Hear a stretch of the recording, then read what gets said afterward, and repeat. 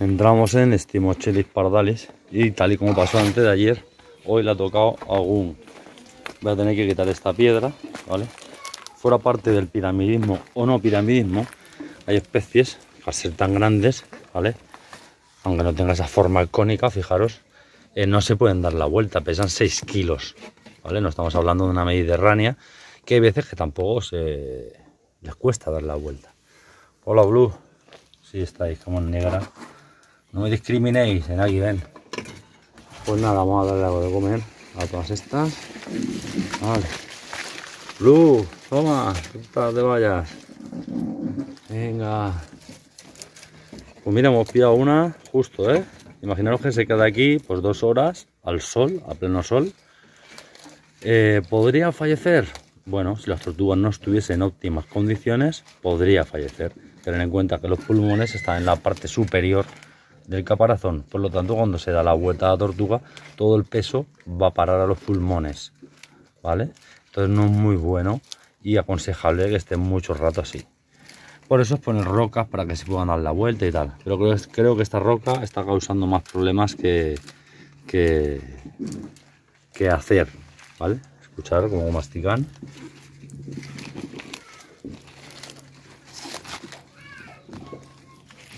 Y Vamos a buscar a Tango. A dónde lo tenemos. Donde está cobijado. Preparándose para la sombra. Tango. Ah, no está aquí. Y Tango. Hola. Ven. Ven, toma. Bueno, te dejo aquí un poco de, hoja de morera. Y ahora vengo a, a traerte la tuca serriola. Venga. Sí, que al poder ser, al tener el piramidismo, tenga más proporción o más posibilidad de que no se pueda dar la vuelta, pero no quiere decir que el piramidismo fue la razón de eso. No, la razón de eso fue pues que están los machos de salida, se suben encima de la hembra, la hembra los voltea, se cruzan con Blue, Blue los voltea, se suben encima de una roca, etc. Vamos, por eso la naturaleza pues de 10 tortugas sobrevive una. Porque, bueno, pues tienen sus cosas buenas y sus cosas malas. Como sus cosas buenas, como aguantar mucho tiempo sin beber agua y comida, unos 160 días, y cosas malas porque son eso, reptiles con caparazón.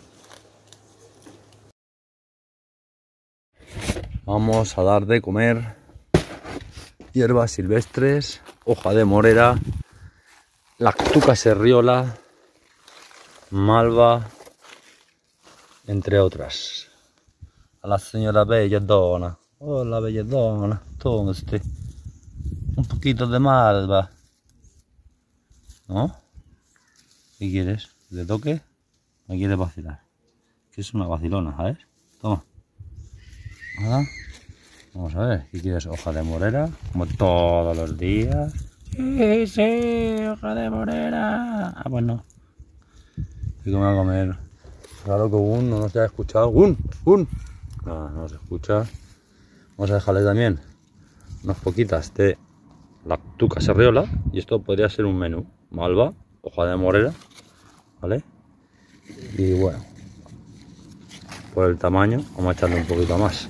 Vale. Vamos a buscar algún un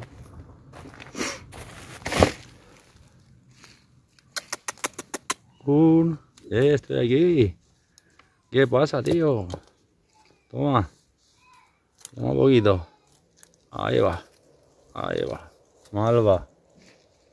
Hoja de morera. La tuca serriola malva un poquito de césped con eh, cerraja menuda. Toma, vale, ahí. Venga, comer. Chiquitín. Toma, vale. Bueno, seguimos.